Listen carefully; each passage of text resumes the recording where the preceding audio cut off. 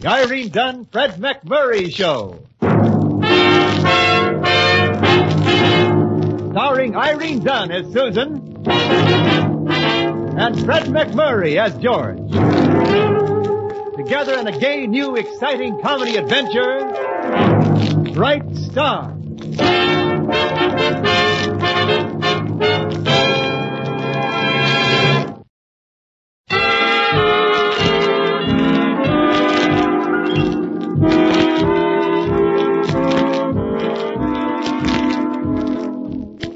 It's the Irene Dunne Fred MacMurray Show, starring Irene Dunne as Susan Armstrong, owner and editor of the Hillsdale Morning Star, and Fred MacMurray as George Harvey, the paper's ace reporter. And when the editor and ace reporter are both covering a city council meeting, a big story must be breaking.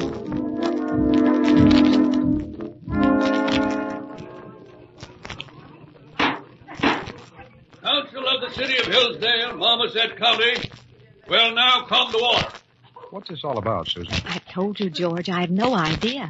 Mr. Briggs phoned, said he was addressing City Council and that there'd be a big story in it. Briggs wouldn't know a big story if it bit him right in the middle of his big stuffed George. shirt. He's one of the paper's largest advertisers. He might have something important to say. Well, it's always the first time, I suppose. Council has been called in special session this afternoon to have a project put before us by that well-known Hillsdale philanthropist, Wilbur R. Briggs. Without further ado, our distinguished fellow townsman, Mr. Briggs. George. Thank you, Mr. Mayor. Council members, fellow citizens. No doubt most of you are aware of my concern with the continued growth and beautification of Hillsdale, fastest growing little city in the southwestern part of the state. In line with this concern, I have long deplored the appearance of Beaver Park, an unlovely stretch of ground inhabited only by an unsightly baseball diamond, a dilapidated statue of an obscure General Beaver, and the inevitable pigeon. Why, Beaver Park is a beautiful place, George. So keenly, fellow It's traditional. So keenly. Why, do I it's- feel Quiet, the heat of Susan. Remember, one of our largest Where advertisers blooms is speaking. squalor, But I am prepared today to make a proposition at my own expense. I shall remove from city-owned Beaver Park the ball diamond, the statue, and the inevitable pigeons, and shall cause to grow there instead a veritable wonderland, the Wilbur R. Briggs sunken Japanese garden. Can't do that, George. Change the name of Beaver Park. Remove the general statue. You can't do that. Would you like to make a small wager? Council has heard the generous offer of Mr. Briggs. If there is no objection to its acceptance, I have an objection. I beg your pardon. Susan, take it easy. He's a big space buyer. I said, Mr. Mayor, that I have an objection. I should like to ask Mr. Briggs some questions. I'm afraid that's out of order, Miss Armstrong. Let her talk, Mr. Mayor. I'm interested. Watch out, Susan. His fangs are showing. Mr. Briggs, are you offering any recreational facilities to the children of Hillsdale to take the place of the baseball diamond you propose to put underwater?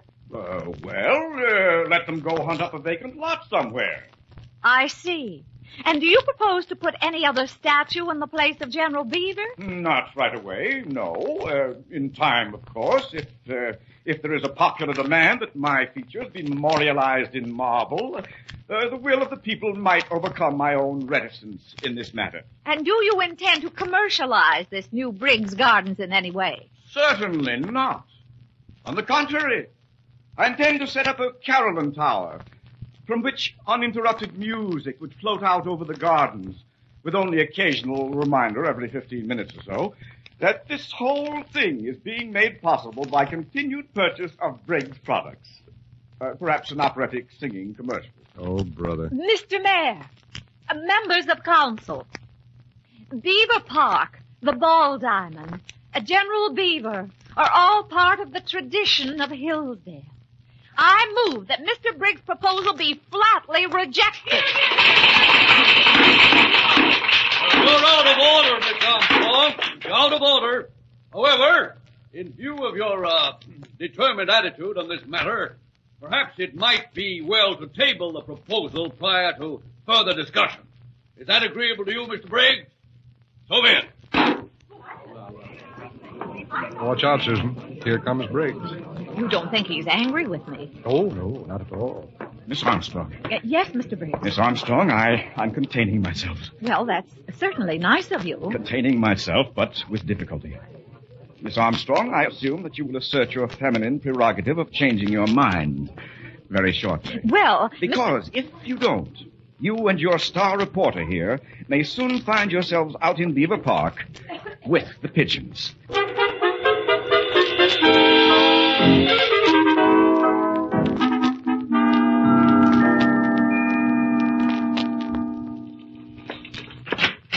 Good morning, Susan. Good morning, George. George, I've been thinking about yesterday. I guess I could have been more diplomatic with Mr. Briggs. True, Susan, true. And after all, there are two sides to every question. Well, I feel as though I'm deserting General Beaver in the face of the enemy, but If it'll make you feel any better, Susan, the general can move in with me. I've always wanted a roommate who doesn't snore. come in. Miss Armstrong? Yes. Won't you come in? Thank you. My name is Penworthy, Miss Armstrong. Horace Penworthy. Not the Virginia Penworthys, but the New England Penworthys. I see.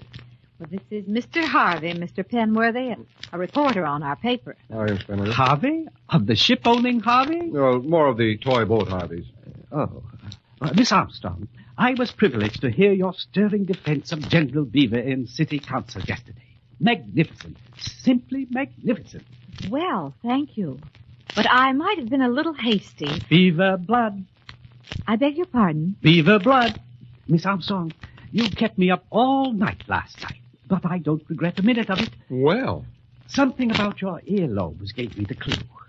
Behold, What is that? I am a bookkeeper by force of circumstance, Miss Armstrong, but a genealogist by avocation.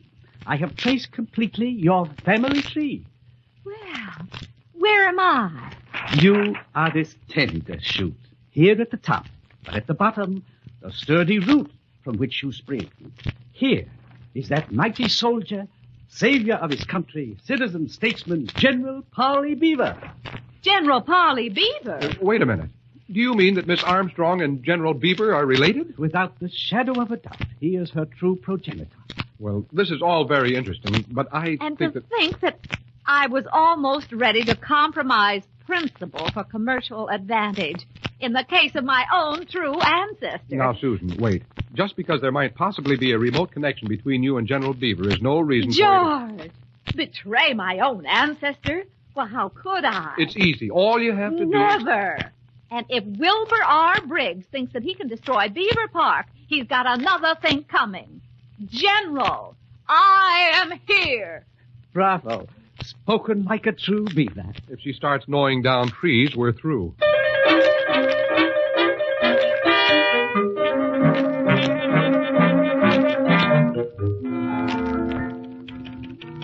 And while it is not the policy of this paper to blindly resist change, in this case we must raise the questions. Would the citizens of Hillsdale be happier with a baseball diamond or a sunken garden? The songs of pigeons or of singing commercials? The statue of a noble war hero or the marble image of a stuffed shirt? There can be but one answer. Save Beaver Park.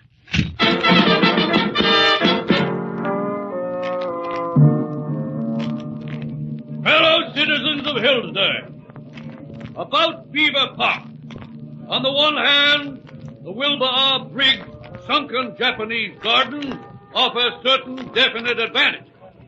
To make a hasty decision against Mr. Briggs would, of course, uh, would of course be obviously unfair. We must examine the case from all sides.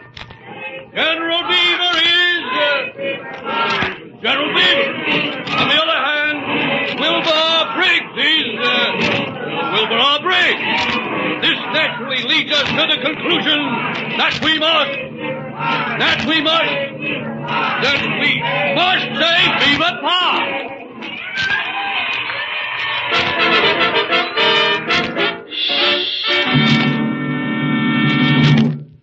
Morning, Miss Susan. How do you want your eggs? Fried, coddled, or scrambled? Oh, scrambled, I guess, patience. I'm in a sort of a confused mood. Why? Didn't we win? Hadn't we saved your noble ancestor, General Beaver? Yes, but now I'm worried about the paper. Oh. The newspaper editor just can't campaign against her advertisers and expect them to. Who could that be? Well, it could be Gregory Peck, but I'll bet on George. Anybody home? It's George. We're in here. Hi, Susan. I... Oh, good morning, Patience. Uh, breakfast, Mr. Harvey? No, no time. Uh, but if you do happen to have some bacon and a few eggs, I knew you wouldn't let me down. Anything wrong, George? plenty. They had a message at the paper this morning. Wilbur R. Briggs is on his way down, and he says he wants to have a showdown with you personally. Oh, dear. Well, what are you going to tell him, Susan? And George, I just can't desert General Beaver. Well, he's the only hero we've ever had in our family. All right. There's only one way to handle this thing, then. Psychology. Call his bluff. Face him down. Look him right in the eye. now, you're t- not getting psychology mixed up with lion taming. Yeah, same principle. Just convince him you're boss, and you'll have him eating right out of your hand. Well, suppose I can't convince him. Well, I know. Look, no hand.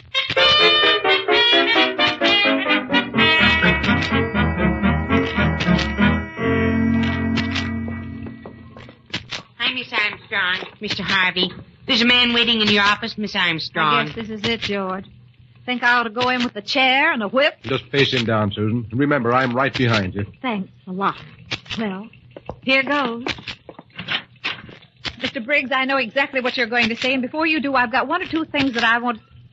Why, Mr. Briggs, you've changed. Good morning, Miss Armstrong. Oh, Some lion. Uh, how are you, Mr. Penworthy? Uh, just fine, Mr. Harvey. I stopped in to tell Miss Armstrong that I'm writing up her case in the Genealogy Journal. I do a regular column. Out on the limb with Penworthy. And I... I'm very flattered, Mr. Penworthy, but right at the present, I'm. Uh-oh, Susan. The lion. Come in. Miss Armstrong, I have a few things to say to you, and I intend to say them as quickly as possible. Talk right up to him, Susan. Mr. Briggs. One, you have taken a civic-spirited, unselfish gesture on my part, and so perverted it as to make me an object of scorn and hatred in the community. Look him right in the eye. Mr. Briggs. Two, unless you immediately cease this ridiculous campaign on the behalf of Beaver Park, I shall not only withdraw all of my advertising, but advise my numerous business connections in Hillsdale to do likewise. Do I make myself perfectly clear? Are you aware, Mr. Briggs, that Miss Armstrong is a lineal descendant of General Beaver? I, sir, would much sooner be descended from a horse thief. Good day. Which way'd the go?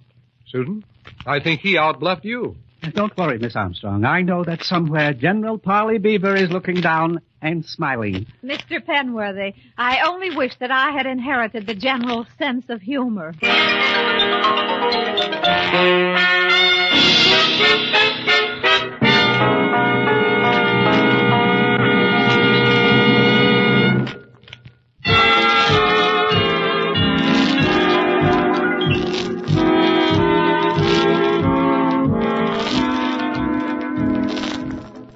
And now back to our stars, Irene Dunne and Fred MacMurray, and the second act of our story.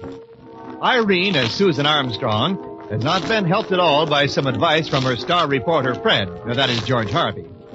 As a result, we find our female Hamlet debating whether to have integrity and no newspaper, or a newspaper and not too much integrity.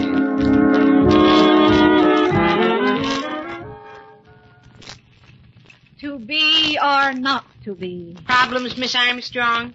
Problems, Daddy. Is Mr. Harvey still around? I think he left. Well, that's one less problem. I heard about you defying Mr. Briggs, Miss Armstrong. Just better to die on your feet than live on your knees. Well, you see, I haven't reached the final decision as yet, Sammy. I know what it'll be, Miss Armstrong. You'll defend the right, even though it costs you everything. Yes, but if I lose all my advertising, I might even lose the paper and... He who steals my purse steals trash. Well, that's one way of looking at it, Miss. Armstrong, though the choice seems hard, years from now you'll be able to look back and say, this was my finest hour. Sammy, if this is my finest hour, I sure haven't got much of a future.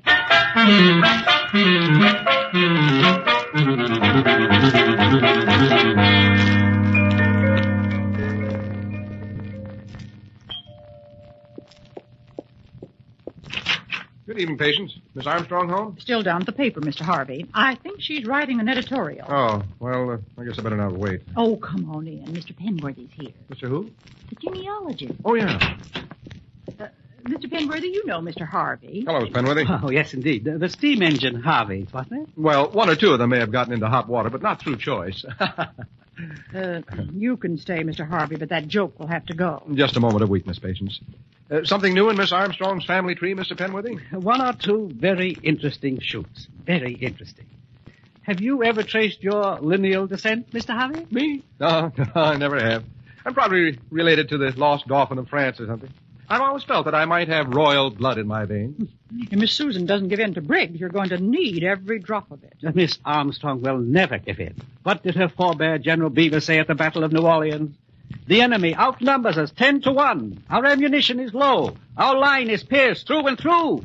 We're going forward. That's Susan, all right. Just as pig-headed as he was. And I imagine that even now she's seated at her typewriter, tapping out a fervent appeal to her fellow citizens to save Beaver Park.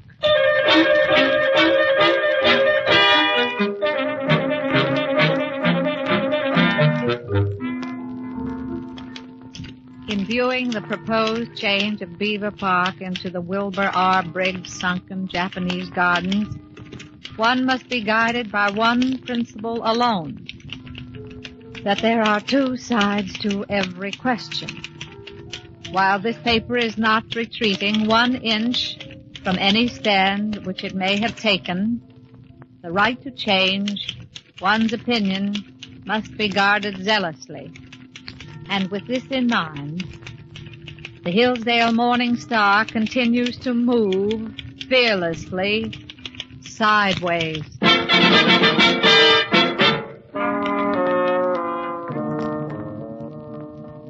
My fellow citizens, no doubt by now all of you have read the latest editorial in the Hillsdale Morning Star concerning Beaver Park.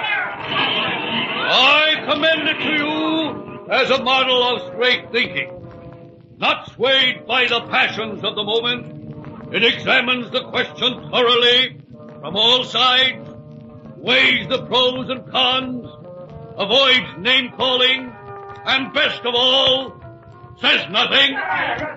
With fearless leadership of this quality to guide us, let us look forward joyously to the new, the beautiful Wilbur R. Briggs Sunken Japanese Garden.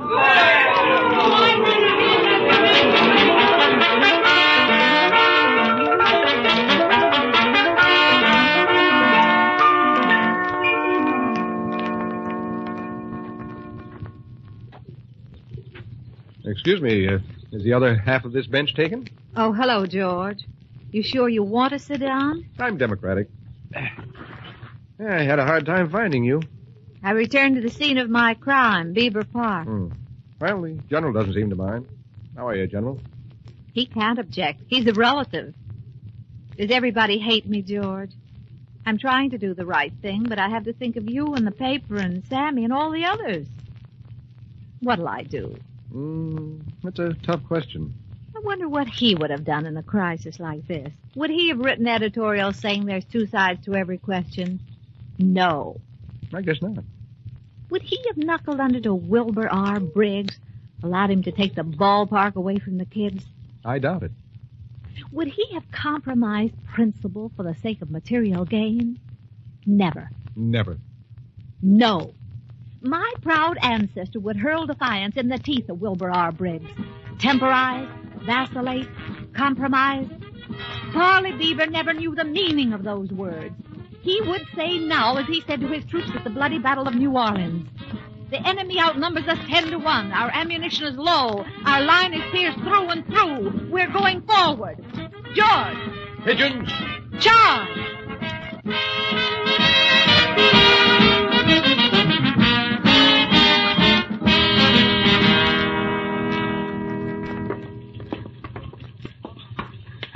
Hi, Armstrong. Mr. Harvey. Mr. Briggs just phoned. Oh, he did, did he? Said he was coming down in person for his answer. Well, he'll get it. Better dig yourself a foxhole, Sammy. A foxhole? General Beaver is going into battle. Sure. And Mr. Penworthy's here. He wanted to see you, Mr. Harvey. Me? What for? He didn't say. He's in Miss Armstrong's office.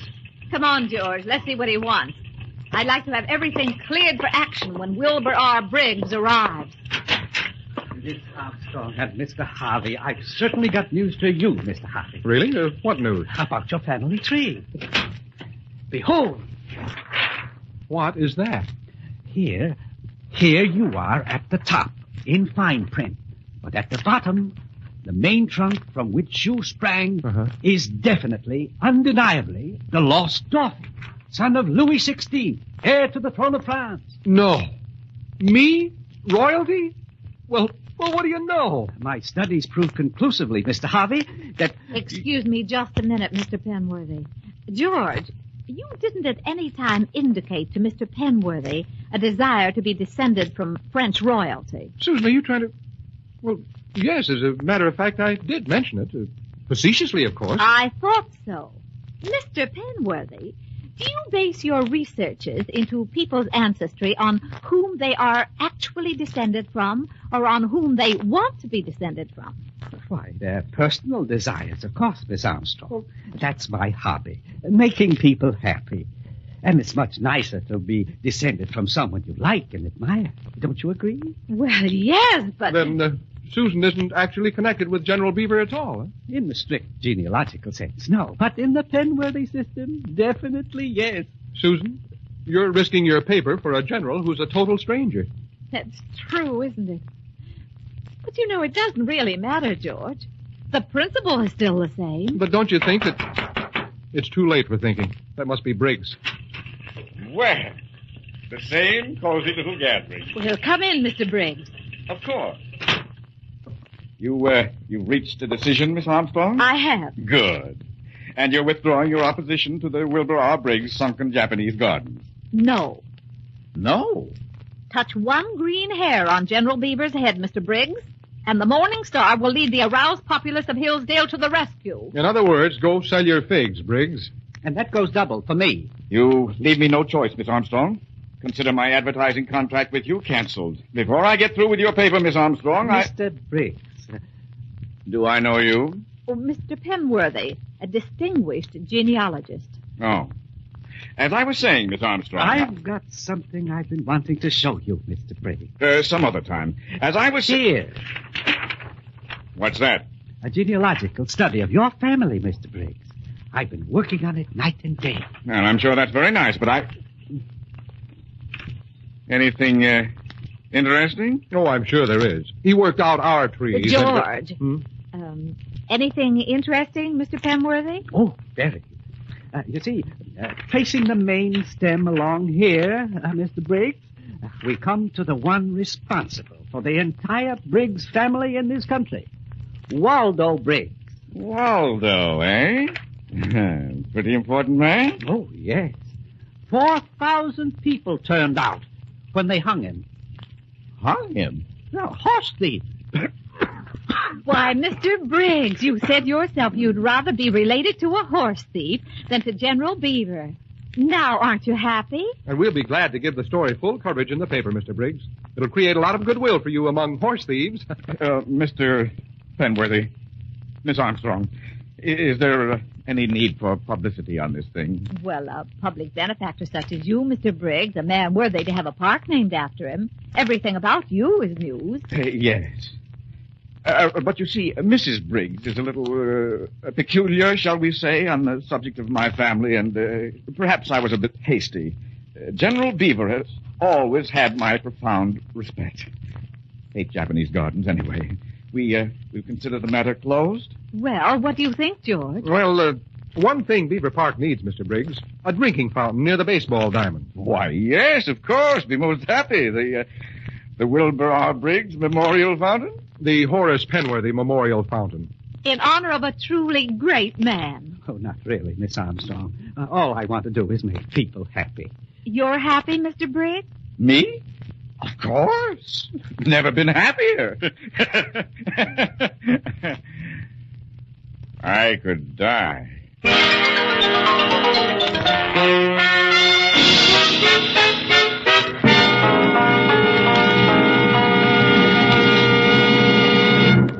Our stars Irene Dunne and Fred MacMurray will return in just a moment.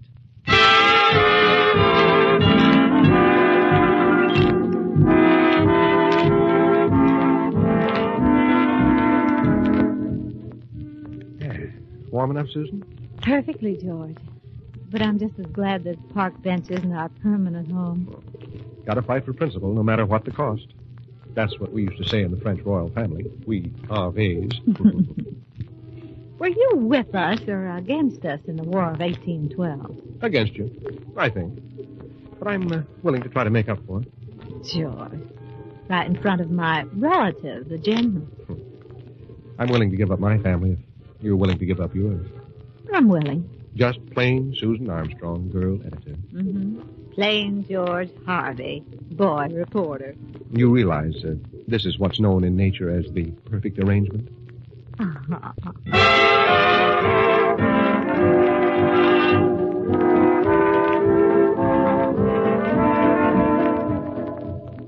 Irene Dunne and Fred MacMurray will be back next week in another exciting comedy adventure in the gay new series, Bright Star. This is Wendell Niles inviting you to join us then.